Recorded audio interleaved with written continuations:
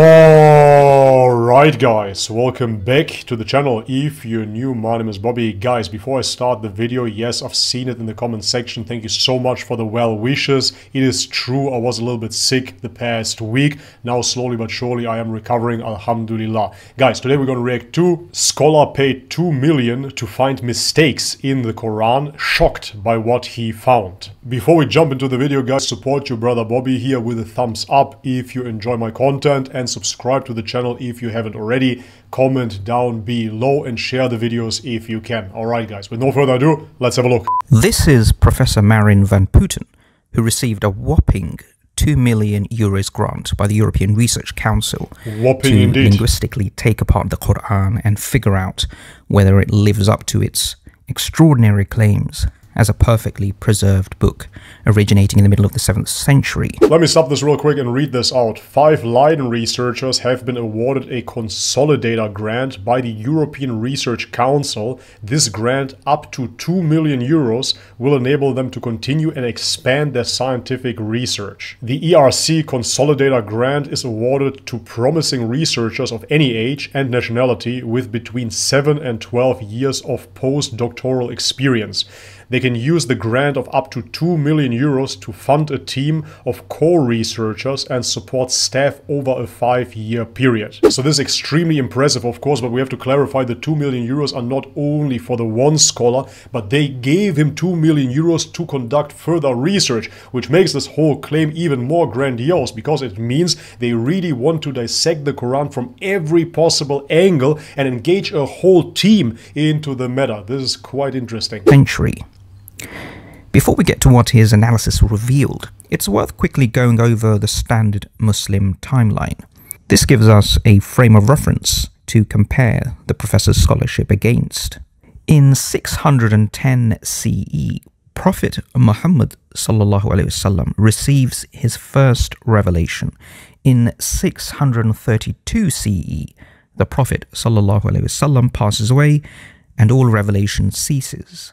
By now, the Quran has been entirely memorized and inscribed on various perishable material. In 632 CE, um, from various written material and men's hearts, Caliph Abu Bakr anhu gathers the Quran into a single book, Mus'haf. Note, the Prophet died this very same year. On the That's 25th year of the Hijrah, 647 CE, Uthman radiallahu anhu standardizes the Quran back to Qurayshi dialect throughout the Muslim lands. The period between the Prophet ﷺ death and standardization of Quran is about 15 years. Now, bear this in mind. This is the crux. Bear in mind that no other religion has anything that can compare to this. According to the Muslim sources, None. the Quran was standardized by about 647 CE by the third Caliph, Uthman radiallahu anhu. And it is this claim that's being tested today. Now, one last important thing before we get to the professor's remarkable findings. What does standardization actually mean? Well, from the time of the Prophet wasallam to the third Caliph, Uthman radiallahu anhu, a 15-year period, the Quran could be recited in seven Arabic dialects called ahruf. Exactly, and this is what the Islamophobes use against Islam. They say that there are many different versions, however, those are just dialects. Now, this doesn't mean seven different Qurans. Exactly. It means the seven readings of the Quran are the same. But there are minute dialectical differences in how certain words are pronounced and spelt. This flexibility existed to assist the non Quraysh Arabs with their recitation. What's important to remember is these seven readings are mentioned in authentic ahadith, and so they're a part of the canonical readings of the Quran. They're not corruptions, and they certainly don't impact the theology. So the standardization process was basically Caliph Uthman anhu restoring the Quranic recitation back to the main Qurayshi dialect, always the most popular one that the Quran was originally revealed in. Of course, Why? because Prophet Muhammad wasallam comes from the Qurayshi tribe. Why? Because by about 647 CE, the different Arabic dialects were starting to confuse the new Muslims joining the growing caliphate.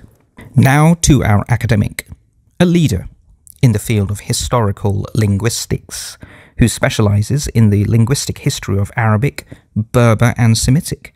Marijn van. Putten, PhD 2013 of Leiden University, who focuses his research on the textual history of the Quran and the early They're history showing his phone number. I don't think that's a good idea. of the Quranic reading traditions.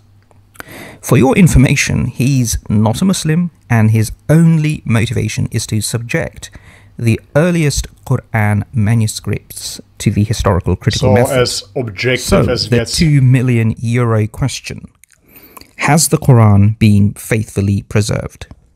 Because that's the bold Drum claim roll. Islam makes, right? Quote, Verily, we, it is we who have sent down the dhikr, and surely we will guard it from corruption. for this, but if you look at the text, really look at the text and look at the early manuscripts, not many people are looking at them. The first thing that'll strike you is that how similar they are. They are extremely similar. I mean, it's really a totally different story than, than with the New Testament, but even you know with, with like early early uh, Hebrew Bible stuff, it's it's much much more chaotic. You can sense the surprise in the professor's Did you voice, can't you? In terms of what he's encountered with these manuscripts.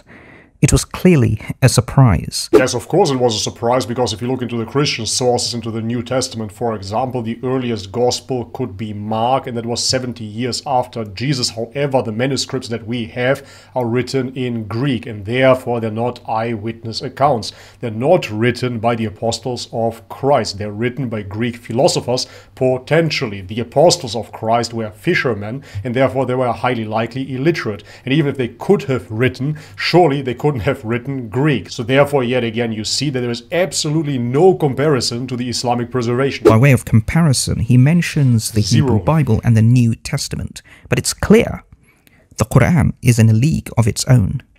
And then you look at the Quran, and it's just it's the same thing over and over again. It's not just the same thing, you know, like in, in general lines. No, it's down not just down to the words, it's down to the spellings, right? Even the specific spellings, and sometimes really random spellings are copied faithfully over and over again. Sometimes a word can be spelled in two ways, but they'll always write in one place in one way, in the other place in another way, and you don't get any mixing in that early manuscript. So really, um, scribes took took the utmost care to really carefully care, uh, copy these manuscripts. The professor is so taken aback by the level of meticulous attention to the process of preservation. And it's always amazing, of course, to see somebody objective or an outsider here that has no skin in the game. He's not a Christian trying to debunk Islam. But if you look at the Islamophobes, you look at the so called Christian apologists on YouTube, you will see, of course, how they are attacking Islam over and over again. However, those claims are false. The professor is so taken aback by the level of meticulous attention to the process of preservation he observed in these early manuscripts. He grudgingly juggles the idea of the early Muslims doing something extraordinarily anachronistic, like a postmodern interfaith textual critique, They were all something unheard it. of until the post Enlightenment landscape of modern academia. But, you know, it's like, well, is, is that because of an example of the text? I, I don't know. Um, that, that is putting a lot of um, uh, faith in knowledge of textual problems in the person whoever composed the Quran, um, which they may have, you know. Um, but how, how aware were people of these issues? Now, obviously, being an academic, working within the framework of the historical method, he can't attribute this perfect preservation to a god, no matter the extraordinary things he stumbles upon That's totally exploring the. Quran. He has to confine his answer to an academic one. It really does not matter if he attributes the preservation to God or not. We as Muslims, of course, attribute that preservation to God and nobody else. However, that being said, for me, yet again, the most beautiful thing here is that a somewhat atheistic person looks at the Quran and can objectively quantify that, yes, this has been preserved from the first day out on. Meanwhile, the Islamophobes are coping and seething. Anybody with an objective mind would, of course, see right from wrong. That's what he gets paid millions for. Theology just doesn't figure, I'm afraid. Um, but the Quran does take pains to say, you know, look, uh, you know, this, this text is in some way uh, protected from corruption, and these previous texts were corrupted. So I think that that, you know, that was a kind of self-fulfilling prophecy. You know, if, if the Quran says it has to be, it has to be uh, preserved, then it will be preserved. Yeah, obviously, uh, followers are going to try really hard to do so, and they do. I mean, they're actually very successful at it. So now that we know that he has found the Quran to be faithfully transmitted between the earliest scribes, does he also find the earliest manuscripts go back to the Uthmanic recension when, according to the Muslim sources, it was standardized. And then the question kind of becomes, okay, so so when when was this text standardized? We have an early standard text, and so just to be clear, we have hundreds of manuscripts, and every single one of them are part of this same text type, the standard text, except for one, uh, which we'll get to in a second as well, but uh, I'll, repeat it here as well.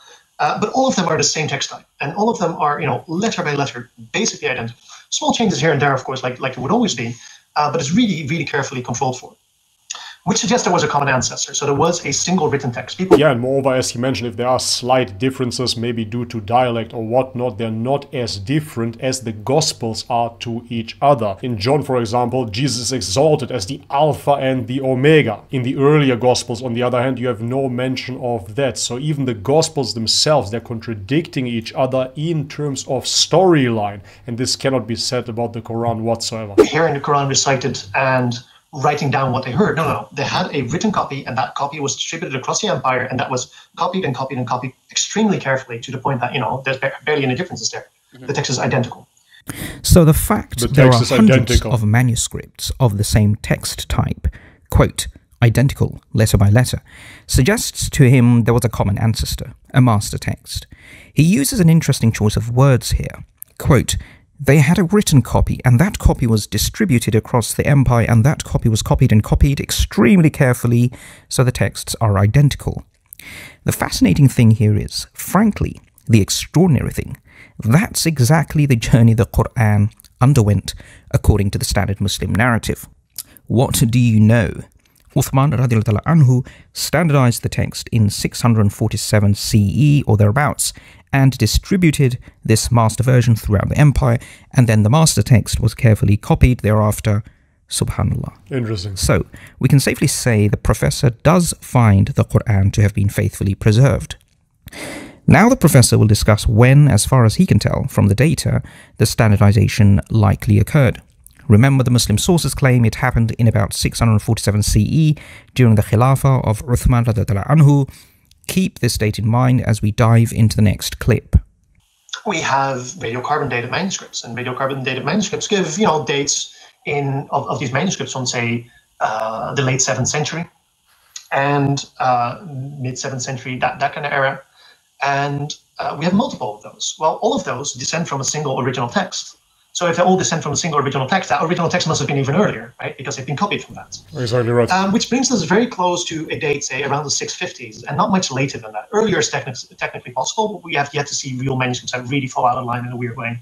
Yeah, around, around 650, um, which is perfectly in line with the traditional Muslim narrative about this. Um, who say that Uthman, the third caliph, uh, who reigned around the 650s, standardized Wait, the text and distributed the Muslims are not lying, you say? Across the Islamic Empire. How can that well, be? That seems to be what we see. Wow. That really seems, seems to be what happened. So, Subhanallah. So, Professor Marijn van Putten is now explaining that the sheer number of identical texts and the fact that they've all been radiocarbon dated to a period between 650 and 700 CE suggests they have a common ancestor text that goes back even further into history to no later than 650 or perhaps even slightly earlier. The numbers are important because if you have the one text carbon dated to 650 to 700, that might be an anomaly, right? But with hundreds returning the same date, it makes it more likely and reliable.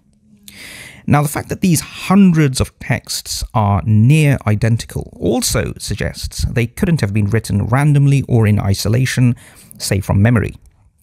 It signals they were handwritten, and there was also a scribal system in place ensuring standardization.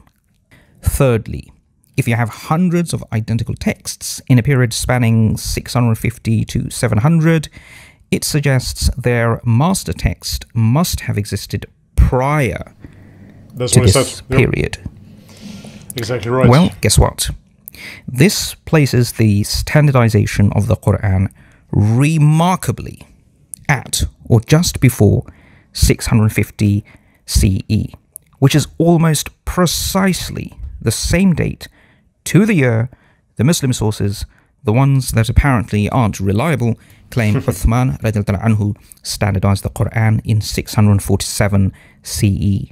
Wow. Subhanallah. Just wow. Wow. Yep. Subhanallah. That is a remarkable overlap between the Muslim claim and modern scholarship. It's kind of ironical, of course, that Muslims were claiming this for hundreds and hundreds of years, and now finally, to the rescue, the West comes, pays a scholar 2 million euros, and he simply confirms what we already knew. He is. Let's get something straight before we finish. the European Research Council is a secular body governed by a scientific council and funded at a cost of 16 billion euros by some of the most liberal nations in the world in Western Europe. Its president is Maria Leptin, herself a molecular biologist. Ideologically, their mission is antithetical to religion, but they're going to be more averse to Islam because inside their paradigm, Islam is the least reformed and most in need of intellectual scrutiny. They don't exist to do any favors for religion. Let's True. not beat around the bush. Frankly, to them, the world is a better place without such superstition. Exactly. So, this organization, part of the European Commission, headquartered in Brussels, paying out millions of euros to intelligent people like our star linguist, Marijn van Putten, is coming with the assumption that science is the solution for pretty much every problem it's the going. savior, ultimately. And baked into this bias is the additional assumption that if enough clever people subject any religion to enough specialist scrutiny, that religion falls apart and is inevitably proven a man made enterprise. Exactly right. So, when the opposite happens, and a 300 year strategy for science to take over the world is upended, and religion is shown in a positive light or somehow confirmed by a secular critical study, despite the vast amounts of cash and resources being thrown at it, you know for sure there was just too much incontrovertible evidence on the side of religion, in this case Islam, to warrant the findings the study concluded with. And what were these today. findings? The Islamic sources are reliable when it comes to the Quranic narrative. The Quran was faithfully preserved. And the Uthmanic Codex does indeed go back to Caliph Uthman, who standardized the text in about 647 CE. Thank you for watching, and please subscribe for more latest scholarship supporting the standard Muslim narrative. Alright, and this is it for today's video. Guys, please do me the favor and do not call Marijn van Putten here. I'm sure he got a bunch of calls now from Muslims congratulating him on his findings. I'm sure it is well meant, but please hold your finger still. That being said, guys, we as Muslims, we already believe this and we know this to be true. However, in the West, people do not know that. And many Muslims I've seen discarding the West and saying, we don't need their science to know that Islam is true. Of course, that is correct for us. However, for the Western mind, they are of course interested in science. Moreover, I would say that for many people in the West, science is their God. If science says it's true, they obey it right away. For them, science is their Quran, astaghfirullah, but it's really the case. Those people truly worship science, and therefore if science confirms it, it makes them rethink. Therefore, it is well needed as well, and we should applaud the efforts of the West, of course, to scientifically try to debunk Islam because like that they're shooting themselves in their own foot. And you see that Islam prevails yet again. Another common W for Islam and moreover as I said throughout the video it is hilarious to see that the Islamophobes from the West try to debunk Islam with false claims however their own science their own communities their own intellectuals are debunking them alright guys but this is it for today's video if you liked it, leave it a thumbs up. If you haven't subscribed already, guys, please do so. And if you want to support this channel via Patreon, for example, all the links are in the description box below. Thank you so much for your ongoing support, guys. And as always, may God bless you all. Much love and peace.